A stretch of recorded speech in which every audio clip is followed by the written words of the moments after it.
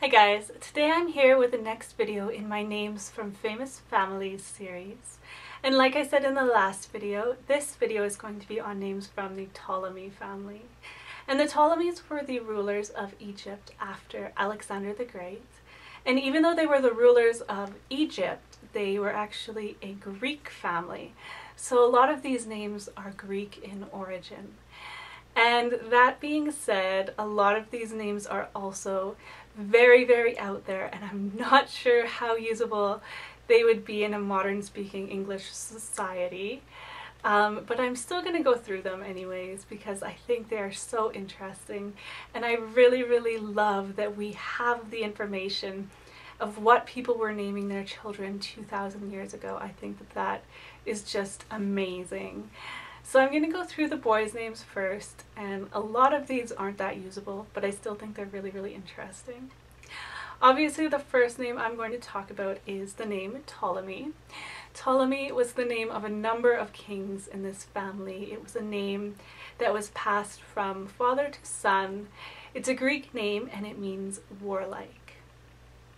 The next name I have is Lagos, and Lagos is another Greek name, and it means hair.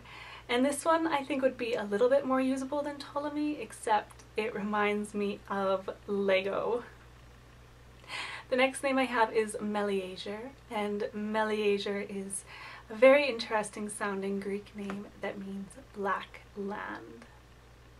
The next name is definitely a guilty pleasure name for me. I really, really love the way this name sounds, and that is Lysimachus. And Lysimachus is a Greek name, and it means a loosening of battle.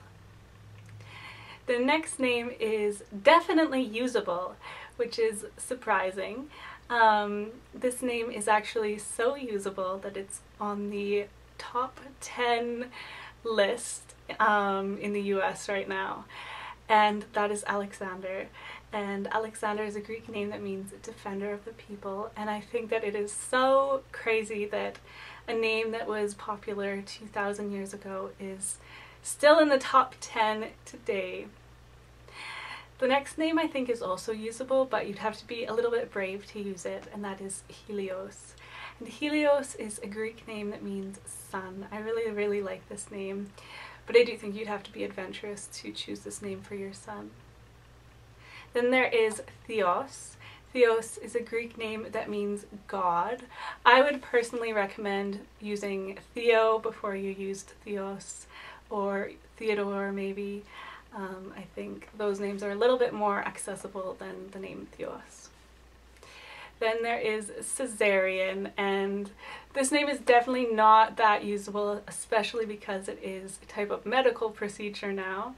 Caesarion was the son of Cleopatra and Julius Caesar, and it's a variant of the name Caesar, um, which means hairy, so another strike against it, it doesn't have that great of a meaning. Then there is Lathyrus, and Lathyrus was the nickname of Ptolemy IV, it's also a kind of pea that is also known as the grass pea.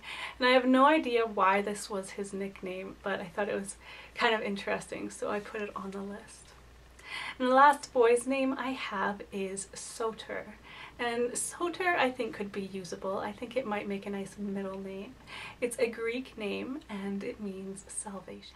So for girls there are a lot of very very beautiful very exotic sounding names that I love, but I think that you would have to be very, very brave to use a lot of these names, including the first one, which is Artakama.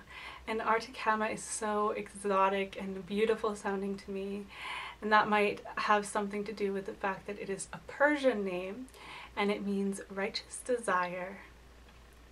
Then there is Thais, and Thais is a lovely Greek name. It means bandage. I think there would be so many pronunciation and spelling issues with this name though that I don't think it's very usable. The next name is definitely a guilty pleasure name for me, and it's one that I might even consider putting on my favorites list, and that is Eurydice. And Eurydice I think sounds so melodic and beautiful. It's a Greek name, and it means wide justice. Another one I really like is Berenice, and Berenice means bringing victory and I think that meaning suits it because it does sound very very strong and um, victorious sounding. Then there is Arsinoe, and Arsinoe was one of Cleopatra's sisters, who she didn't really get along with that well. It's a Greek name and it has a really, really nice meaning. It means woman with an uplifted mind. The next name I actually think is 100% usable and I wish it was used more and that is Lysandra and I think Lysandra would be the perfect way to honor someone named Sandra or even Cassandra. It's a beautiful beautiful name and it has a really nice meaning. It's a Greek name and it means one who is free and I don't think that you could go wrong in any way with the name Lysandra. Then there is Eirene, and Eirene is a Greek name that means peace. This is where names like Irina and Irene come from. This is the original Greek version. The next name I have is Tryphena. This one sounds very, very strong to me. Tryphena is a Greek name and it means soft and delicate and Tryphena was another one of Cleopatra's sisters. The next name is very, very usable. It's used quite a bit and that is Selene and this might make people think of Celine Dion but I really prefer this spelling um, to the way Celine Dion spells her name with a C and Selene is a Greek name that means moon. And of course, I couldn't talk about the Ptolemy family without talking about the name Cleopatra. There were many queens named Cleopatra, but I'm sure that the one you are thinking of is the one who had an affair with Julius Caesar and um, was the lover of Mark Antony as well. Probably the most famous from this family. And Cleopatra is a Greek name and it means glory of the father. So those are some names from the Ptolemy family. I know some of them were very, very out there and not that usable, but I do think that they are very interesting names. And the next family I'm going to talk about are the uh, Julio-Claudians, which includes Julius Caesar and Augustus Caesar and some of the Roman emperors. So stay tuned for that.